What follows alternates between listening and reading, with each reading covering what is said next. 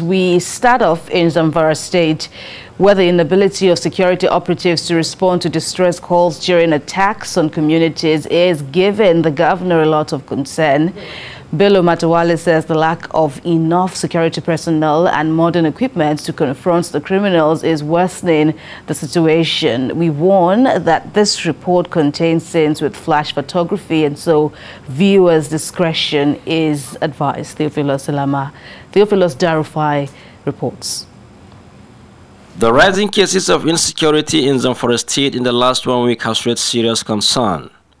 The latest attack on communities in the state, which claimed lives occurred when the state governor Bello Matawalle was in Abuja attending a security meeting with the nation's service chiefs.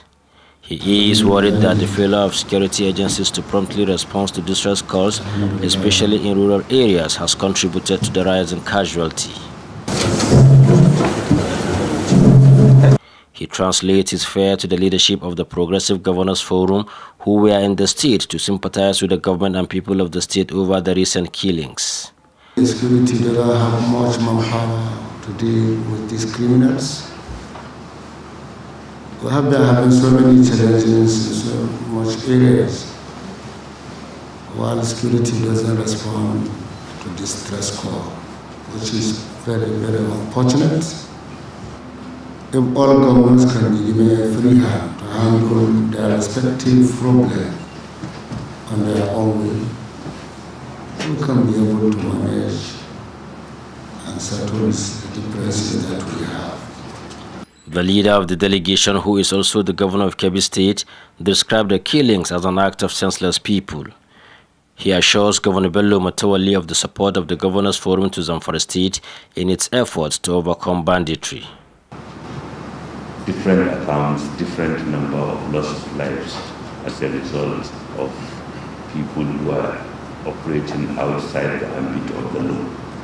And the forum resolved quickly to come and support His Excellency and show solidarity and offer our condolence and prayers to the people of Zamfara State. Governor Bello Matawalle says those killing in the month of Ramadan are not Muslims and are not doing it for Islam. He commends President Muhammadu Buhari for the unwavering support he has given the state.